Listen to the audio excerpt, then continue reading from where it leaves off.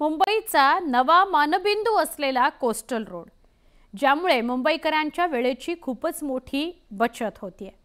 मात्र अठरा दिवसांपूर्वी सुरू झालेल्या या रस्त्यावर एक दोन तीन नव्हे तर तब्बल छत्तीस खड्डे पडलेत. हे खड्डे तातडीनं भरले असले तरी त्यामुळे रस्त्याची अवस्था जुनाट कापडाला ठिगळ लावल्यासारखी झालेली आहे.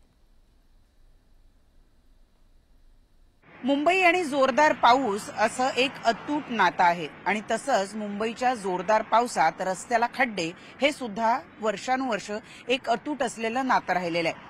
मुंबईमध्ये रस्त्यावरचे खड्डे भरण्यासाठी mastic cold mix hot mix असे अनेक प्रकारचे नवनवीन तंत्रज्ञान वापरले गेले परंतु त्याचा काहीही उपयोग झालेला बघायला मिळत नाही.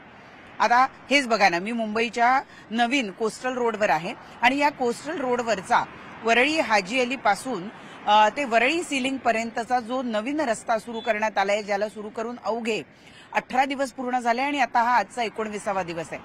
या अठरा दिवसामध्ये या रस्त्याला छत्तीस खड्डे पडलेले आहेत. हो एक नाही दोन नाही तर तब्बल छत्तीस खड्डे या रस्त्याला पडलेले आहेत आणि ते पॅच भरण्यात आलेले आहेत. आता तुम्ही जाल तेव्हा तुम्हाला ब- कुठे खड्डा दिसणार नाही पण हे भरलेले पॅच मात्र नक्की दिसते. त्यामुळे प्रश्न निर्माण होतो तो हा की किती जुन्या रस्त्याला खड्डे पडावे किंवा किती नव्या रस्त्याला खड्डे पडावे याचं सुद्धा मुंबईमध्ये काही तारतम्य राहिलेलं नाही. नवीन रस्त्यांना जर अशा मोठ्या प्रमाणावर खड्डे पडायला लागले तर जुन्या खड रस्त्यांकडून आपण काय अपेक्षा करावी?